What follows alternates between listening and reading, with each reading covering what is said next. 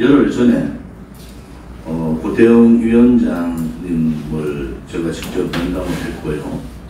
또 여러 어, 다른 입장에 있는 분들 입장도 많이 들었습니다. 어, 이 사실은 열흘 전에 당원의 당원 당규에 따라서 어, 시도당 위원장이 그 돌석일 경우에 또 사표를 했을 경우에는 어, 당원 당규에 따라서 관리 시도당으로 정해지고 그래서 충북도당이 관리도당으로 됐고 관리도당은 중앙당에서 어, 관리도당 음, 위원장 어, 대행을 임명을 할 수가 있습니다.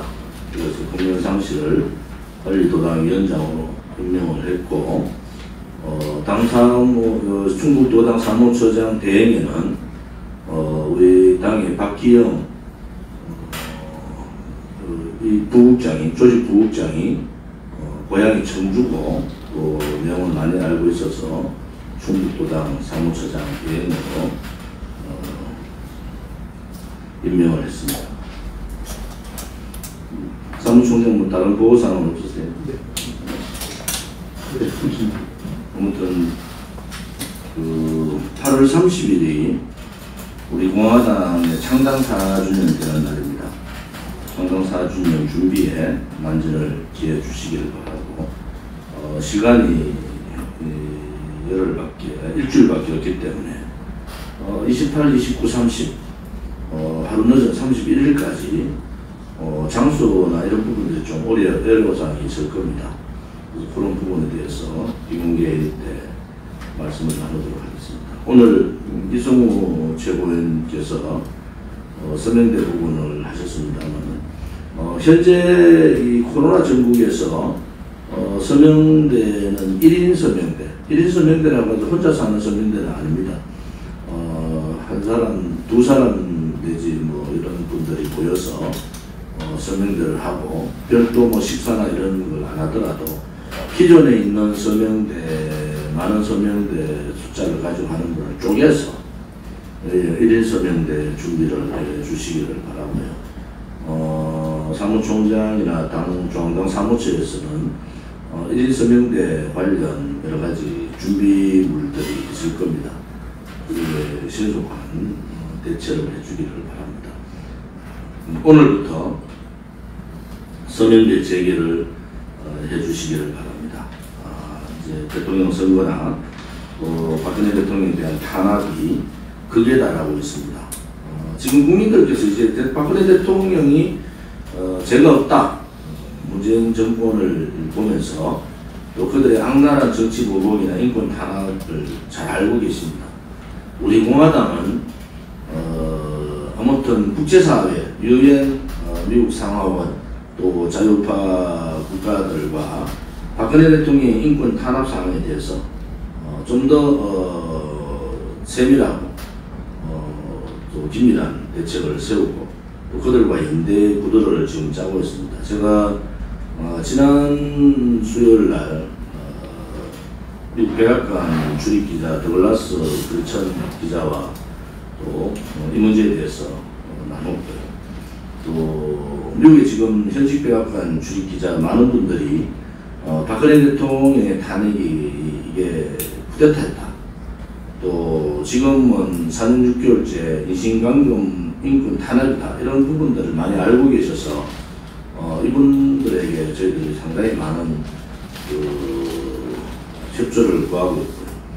어, 지난 8월 15일 이전에, 음, 그한 달 전에, 어, 7월 달에 저희들이 우리 공화당에서 어, 바이든 대통령, 또 영국, 어, 또 프랑스, 독일, 어, 또 유엔, 또 미국의 상하원, 어, 국무성 어, 등등 어, 많은 분들한테 박근혜 대통령의 즉각 석방 요구와 인권 탄압에 대한 서신들을 다 전달을 했습니다.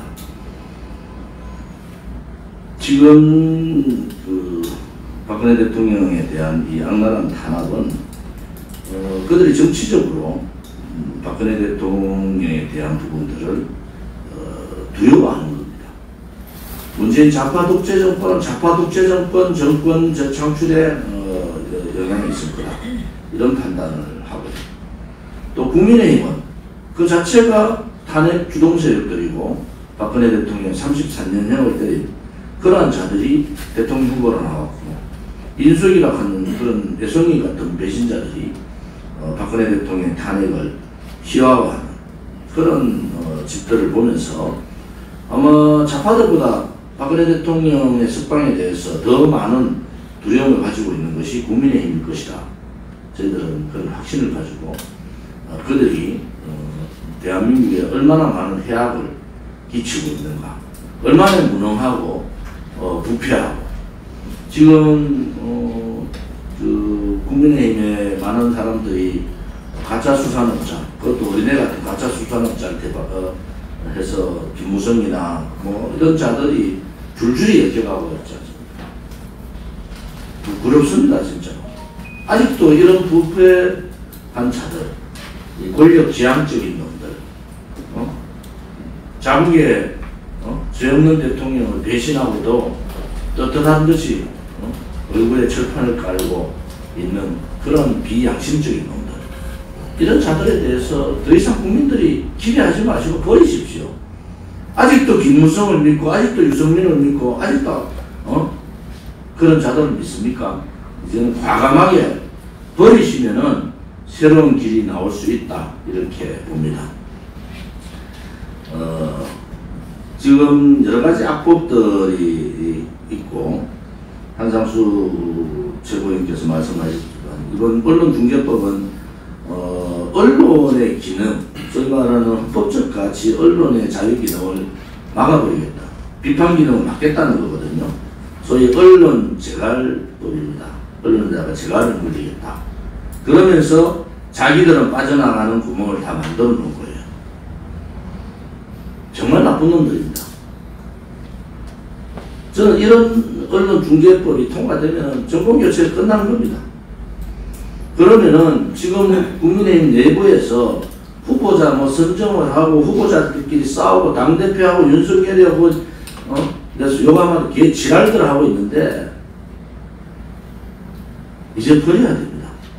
만약에 언론 중재법 통과되면요 그냥 이 나라는 독재국가로 가는 거 아닙니까? 그런데도 국회의원직 어? 사퇴를 걸고 어? 싸우지 않으면은 국민의힘은 이 소위 말하는 야당이 아니라는 거죠. 이제 국민들께서 문재인 좌파 독재 정권, 이제 언론 중재법까지 되면 이제 독재 전쟁국가로 가는 겁니다. 그들과 싸울 수 있는 정당을 이제 택해야 된다. 가짜 사이비 유튜브들한테 속으시면 안 된다는 거죠. 그들의 사람 따라다니는 모습을 우리는 지난 대통령 선거, 지난 탄핵 정부 5년 사이에 우리는 얼마나 많은 그들의 모습을 봤습니까?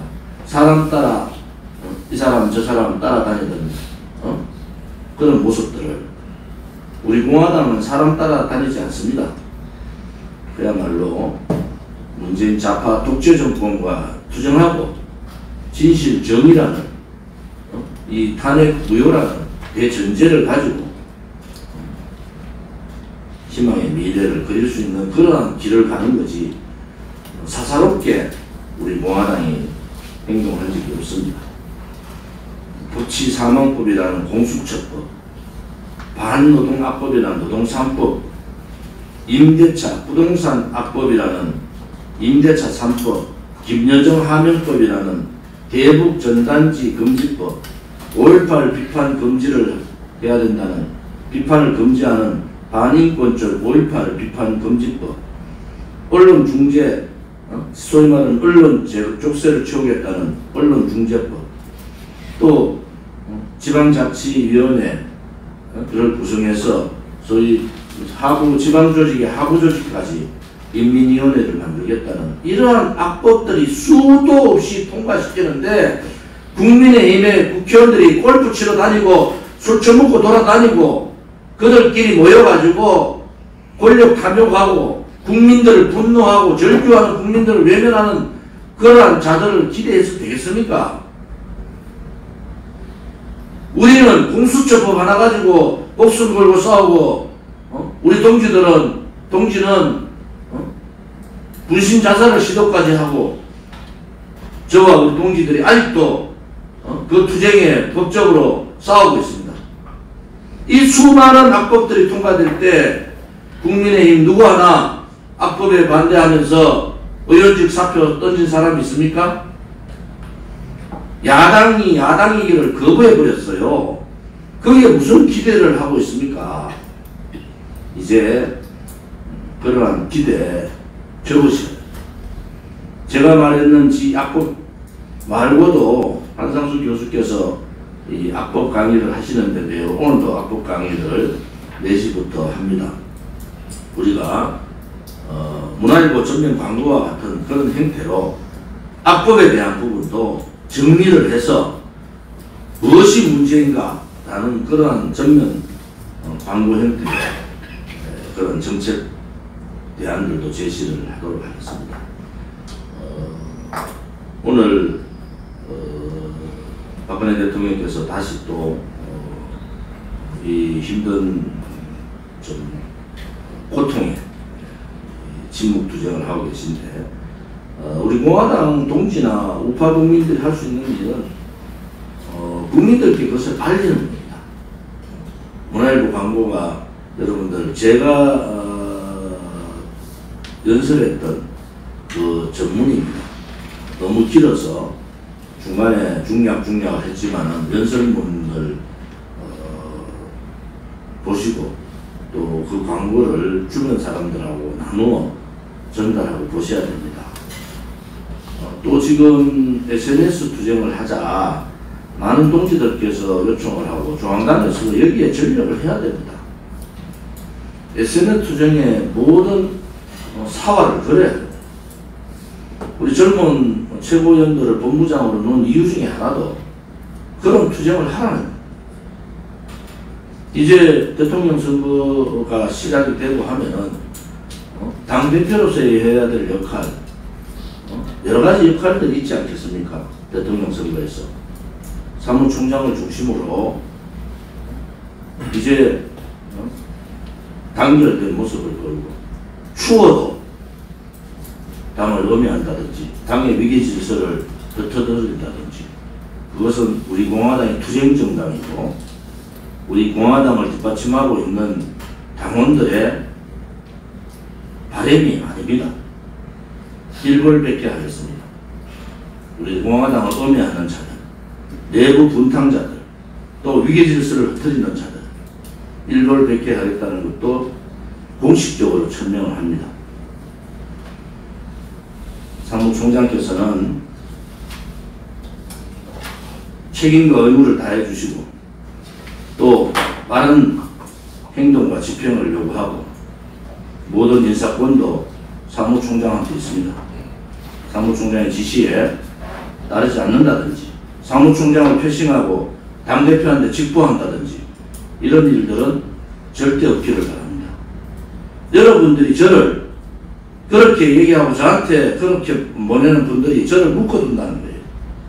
밖에 나가서 수많은 사람을 만나고 수많은 아이디어를 내고 수많은 이슈를 창조하고 수많은 언론인들과 접촉을 하고 해야 될 시간도 모자라는데 당내 문제에 자꾸 저를 묶어두고 그렇게 저를 작게 만들지 말아주십시오. 이런 얘기가 더 이상 공개적으로 어, 하지 않기를 절실히 바랍니다. 1인 서명대 부분도 요청합니다. 제가 유튜브 분들한테도 요청을 드립니다. 우리 공화당의 우호 유튜브는 최소한도로 월요일 회의에는 참석하는 것이 맞지 않습니까?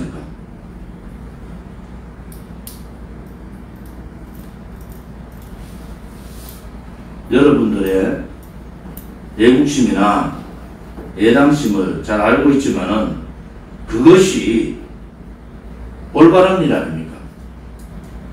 최소한도로 여러분들을 지지하는 구독자분들이 우리 공화당의 월요일 하루 있는 최고위원회는 보고 싶으실 거 아니에요. 당의 사무총장이 공식적으로 요청을 했음에도 불구하고 소위 말하는 우리 공화당 우호 유튜브 중에서 좀 구독자가 많은 유튜브들은 참석하는 것이 맞지 않습니까? 이런 얘기도 더 이상 얘기하지 않기를 바랍니다. 여러분들이 우리 공화당 당대표 전화 지도부는 여러분들을 언론으로 어, 보고 그렇게 예우를 하고 있습니다.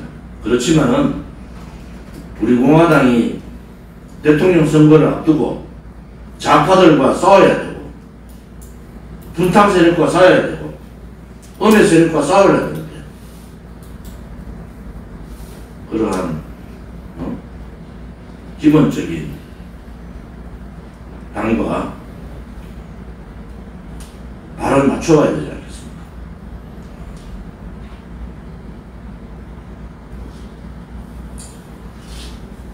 1인 서명대 부분은 아무튼 뭐 많은 분들이 지금 모여서 서명대하는 환경이 되지 않고 대구의 예를 들면 10명이 모여서 하는 서명대나 두 분이 하는 서명대나 입당 현황이나 또 서명 현황이 거의 같습니다. 그래서 어, 나름대로 그런 부분들을 잘 감안을 하셔서 시도당 위원장님들이나 서명대 단장님들은 그렇게 해주시기를 바랍니다. 여러분들 이제 우리가 4년이 창당 4년이 가까워지고 이제 일주일도 남지 않았지 않습니까? 우리가 5월 28일 어, 부터 계룡산에서 어, 이 나라를 구하기 위해서 이 둘이의 나라, 거짓의 나라를 구하자고 깃발을 들었지 않습니까? 그전 박근혜 대통령에 대한 거짓 탄핵과 싸우는 이 5년의 과정에서 여러분들 수없이 봤지 않습니까? 우리 당에 왔다가 그냥 말없이 가서 음해하는 사람들 다 정도가 아니기 때문에 안 되는 거예요. 우리 당 당원들의 수준이 굉장히 높습니다. 여러분들 댓글 보시고 어, 공카나 이런 부분 또 한분한 분의 그 애틋한 그러한 글들을 보면은 우리 당의 수준이 굉장히 높고 또 높아졌다. 우리 당을 음해한다든지 우리 당의 어? 외국 활동에 대해서 거짓으로 비판하면 싸워야죠. 집안에서 집안의 아버지를 욕하든지 그, 가, 그 가족을 욕하든지 거기에 조상들을 욕하면 싸우지 않습니까? 법적 싸움도 하고 우리 공화당이 가만히 앉아서 은혜를 받는데 싸우지 않고 가만히 있는 건 죽은 조직이죠. 함부로 우리 공화당을 건드리면은 어? 견딜 수 없도록 만들어주는 게 산조직 아닙니까? 우리는 정당인데 선관위에 어? 정당에 대한 명예훼손은 굉장히 중거리에 들어가지 않습니까? 우리가 좌파들한테 국민의힘 보고 싸우지 않는다고 얘기하는 거하고 우리 당을 대놓고 음해하고 대놓고 분열 세우고 몰면은 그것을 보고 가만히 있으면 그건 죽은 조직이죠.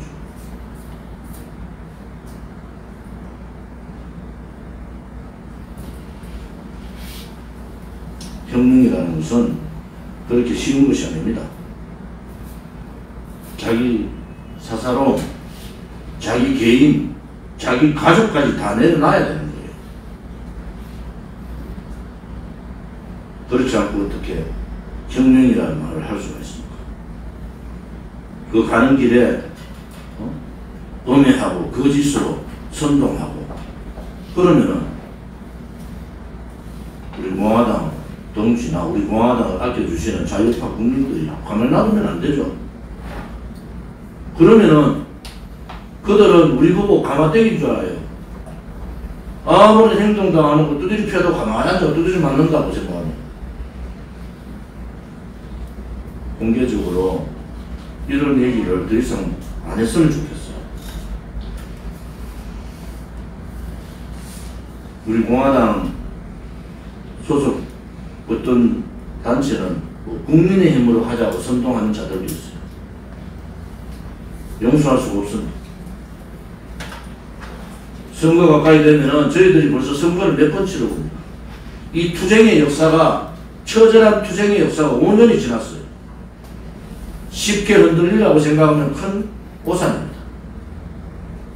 그럴수록 우리 공화당이 내부적으로 단결하고 조직을 공고히 하고 또 확대해서 제대로 된이 좌파 독재 정권을 물러, 물리치는 또 배신 역적 예? 사이비 보수 세력 특히 어? 무능하고 굴종적인 이 국민의힘에 물리치는 그러한 혁명을 하려면은 여러분들이 동지들하고 싸울 시간이 어디 있습니까? 동지들한테 싸우시면 되십시오. 저한테 이런저런 뭐 얘기들 저한테 문자 보냈는데 동지들끼리 싸우는 문자 보내지 마세요. 그거 읽을 시간도 없습니다. 24시간 깨쳐서 이슈를 만들어내고 우리 공화당에 가야 될 길이 어떤 길인가 이 좌파들의 탄압과 소위 말하는 가짜 어? 무능한 어? 가짜 보수들의 어? 우리 공화당의 손해 이런 것을 깨쳐나갈 시간도 힘들어요. 박근혜 대통령께서 다시 인신강금 되는 이 상황에서 내가 잘났다, 네가 잘났다 이렇게 싸우는 모습은 옳지 않습니다. 당에서도 어떤 문제가 있으면 빠른 시간 내에 조치를 하십시오. 그냥 그렇게 그러는 것만이 영사가 아니라는 것도 말씀드립니다. 공화당 여러분 5년 겪어온 길을 여러분 보시면 우리 공화당이 간단한 조직이 아닙니다. 여러분들이 말한 최초의 민초정당이고 여러분들이 만든 자생정당이고 자립정당이고 자강정당입니다. 우리 공화당이 스스로 만들고 스스로 일어서고 스스로 강해지는 정당입니다. 어떠한 사적인 거 그런 거 가지고 하지 마세요. 우리 공화당은 굉장히 잘못 본 겁니다. 자생, 자립, 자강 정당답게 좀 더 품격을 지켜주기를 바랍니다. 투쟁력은 최고로 당원들 간의 단합을 통해서 품격 있는 정당으로 태어나기를 바랍니다. 비공개로 했습니다.